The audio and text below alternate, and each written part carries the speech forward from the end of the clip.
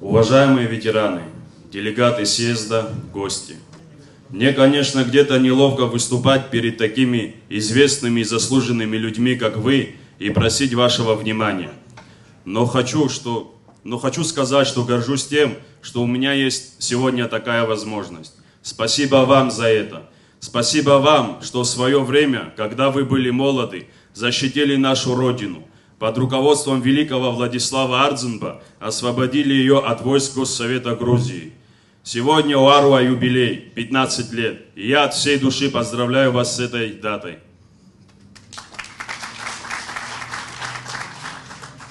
Я родился после войны и не знаю, не понимаю, как это быть колонией другого государства. Быть на своей родине человеком второго сорта, как это видел и чувствовал мой отец, родные и вы старшие. Так как я вырос в свободной стране, и это благодаря вам и тем, кто отдал свое дорогое, свою жизнь за нашу независимость.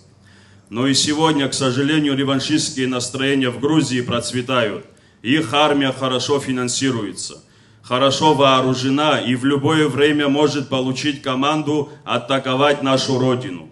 Мы должны быть готовы, готовы защитить страну. У нас есть оружие, у меня есть оружие, есть боеприпасы на первое время. У нас есть опытные командиры, и мы готовы отдать свои жизни, не, но остановить нашего врага. Уважаемые наши старшие, нам нужен ваш опыт и поддержка. Мы надеемся на грамотное командование, что руководство Министерства обороны уже продумало основные мероприятия.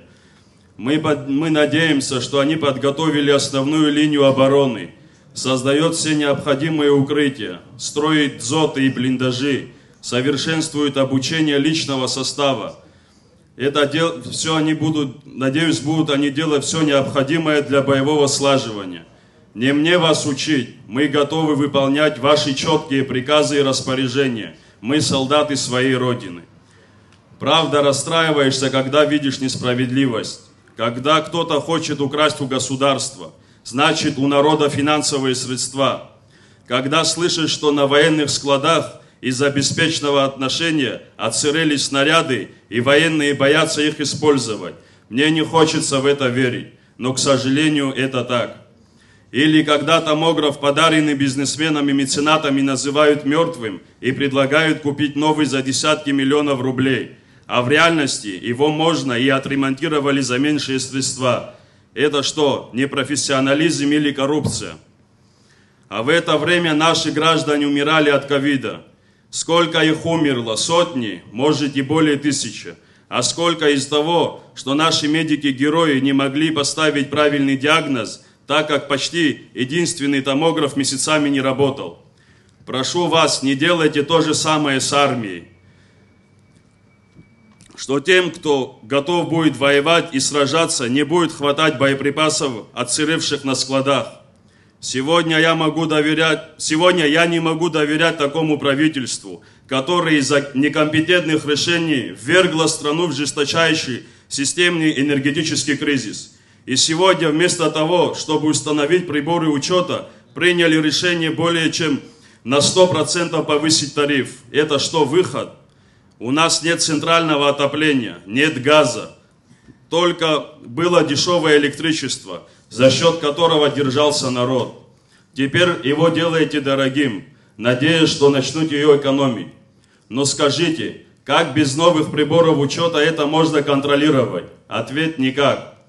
Парламент прошлого созыва выделял правительству 100 миллионов на приобретение и установку приборов учета. Правительство просило, дайте на линию Ачигвара на текущие расходы. Ни новой линии нет, ни приборов учета. Как можно так обманывать свой народ? Не можете работать, уходите. Я не говорю, назначайте оппозиционеров. Ради Бога назначайте своих сторонников, но более эффективных профессионалов. Созданный вами бардак невозможно терпеть. Правительство говорит нам, что топливо мы не производим. Цена формируется в России. Хорошо, поверим вам на слово. А цена на проезд в Рытинский заповедник тоже формируется в России.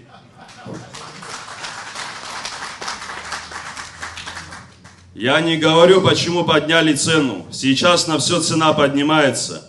Я говорю, вам не хватало бы поднять с 300, 350 до 500 рублей. Почему сразу на 100%? Отдыхающие в прошлом году приезжали, транспорт был дешевле, весь в ущелье был дешевле. Сейчас цена на транспорт поднялась из-за топлива. Везной билет на 100%, и отдыхающие отказываются от таких дорогих экскурсий. Это вы так просчитываете в правительстве. Очень плохо вы считаете в Министерстве экономики. Зато свои деньги вы считаете очень хорошо. Поэтому государственные учреждения теперь закупают топливо в основном на заправках подорожник. Я думаю, такая компания, как Обсну Ойл, которой депутаты прошлого созыва называли рога и копыта, в которой имеет в которой имена учредителей спрятаны в офшорных зонах, не должна осуществлять деятельность, пока она не станет прозрачной. Обращаюсь к депутатам парламента взять пример с российских коллег и принять закон, по которому юридическое лицо не может быть учредителем более одной дочерной компании. Цель всего этого прозрачность, видеть реальные физические лица, кто учредили ту или иную структуру.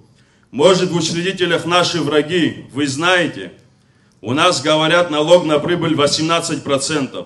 Но я слышу от друзей бизнесменов, что заплатив все налоги, в том числе и на прибыль, они должны платить опять подоходный налог и только после этого могут распределить заработанное. Это разве законно и правильно?